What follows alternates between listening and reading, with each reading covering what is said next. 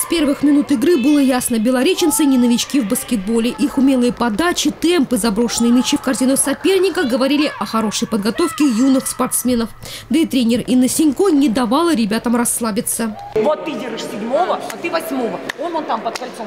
Вот туда ты спали. Вы вдвоем под кольцом. Спину поставили, на подборе работаем. Баскетболисты из Белореченска помимо ежедневных тренировок уже пятый раз играют на выезде. Такие встречи с ребятами из других городов придают новый импульс и спортивный азарт. Ну а самое главное – учат состязаться. Игровой опыт.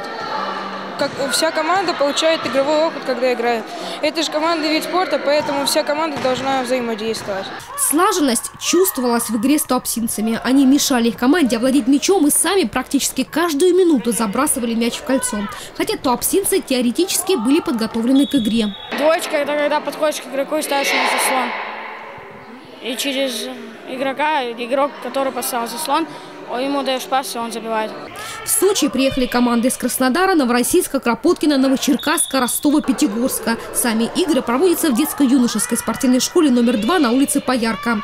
Турнир памяти заслуженного тренера России проводится не случайно. Юрий Пахмутов подготовил известных баскетболистов Захара и Евгения Пашутиных.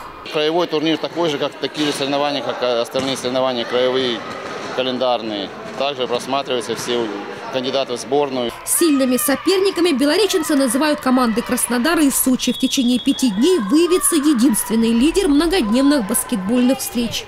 Елена Овсицына, Николай Тихонов, телекомпания ВКТ.